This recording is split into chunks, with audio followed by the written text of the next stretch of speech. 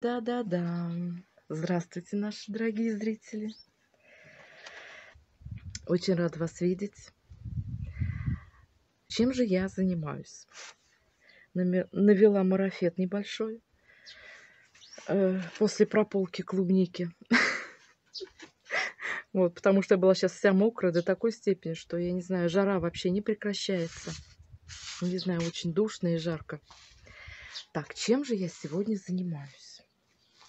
Все любят ягоду, особенно клубнику, правда? Такая она вкусная.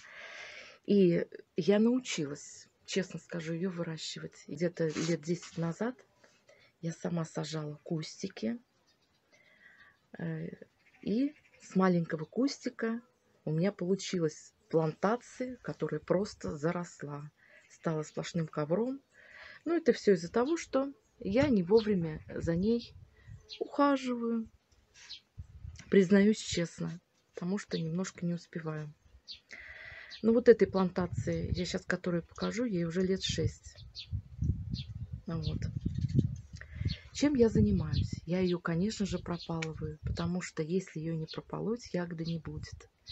И это самая моя нелюбимая, самая моя просто нелюбимая работа, которая отнимает столько сил и энергии, что...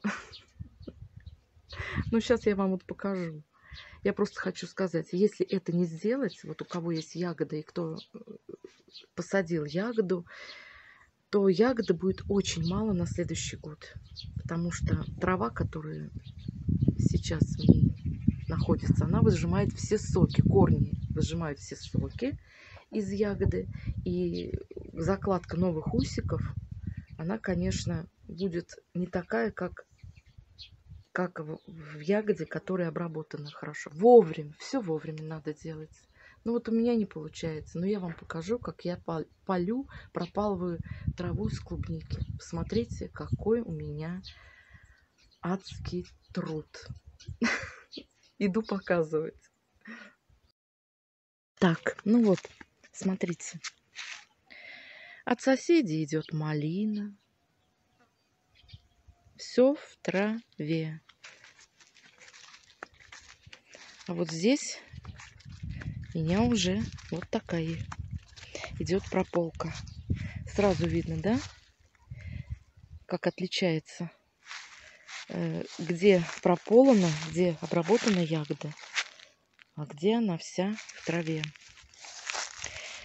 Ну, как вот я, вот так вот я делаю. Просто ложу простынь, какую-нибудь одеялку э, и начинаю ее на своем любимом стульчике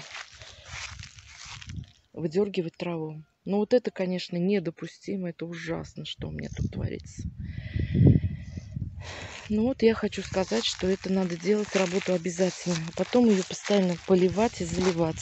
Вот здесь вот Видите, она какая сухая. Клубничка моя. Здесь я уже обработала ее. Клубника у меня, конечно, хорошая, но она уже тоже зарастает. Зарастает. Вот от соседей. Вот видите? Малина у соседей. Она вся ко мне пошла. Ну, это вообще просто никуда не годится. А в начале весны я ее вот все убирала. Вот она опять дает поросль от нее уже не избавишься. Это вот что бы вы ни делали, у меня там и шифер лежит, кстати, где забор углубленный. Вот, я сейчас покажу. Вот шифер у меня тут сделанный. Видно, да? Вот он. Мы очень углубляли где-то на полметра. Это бесполезно. Бесполезно. И вот это сейчас, если я траву не уберу, это будет просто кошмар. Но вот эта вот ягода, она уже у меня заросла. Должны быть рядочки. Должны быть рядочки. Здесь вот я отделяла шифером, потому что у меня сорта были разные. Вот. Ну, шифер это не дело, он очень ломается. Ну, просто отделила вначале. Вот. Здесь вот сорт рубиновый кулон который мы скоро будем сажать на другой даче. А здесь у меня даже по листикам видно, правда? А здесь у меня уже сорт... Ну, совсем другой сорт, не помню. Вроде бы... Нет, не Машенька. Кусты большие. Вот на кустах они как бы отдельно. Большими кустиками растут. Но очень много ягоды. И она мало дает розеток.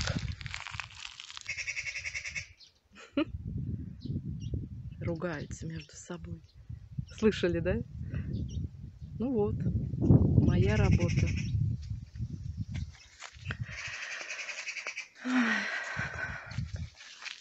А ягодку любят все.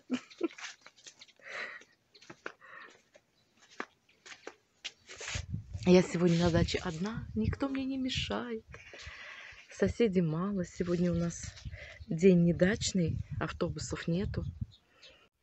А вы знаете, себя надо беречь и не пахать, и до такой степени, чтобы потом упасть я завариваю кофейку, отдыхаю часто. Себя надо вообще любить, только мы это поздно понимаем. Вот я лично это поздно поняла. Пахала всю жизнь на двух работах. Ой. Отдавала себя как могла. Кофеек вареный. А губы-то накрасила. Специально для вас и для себя.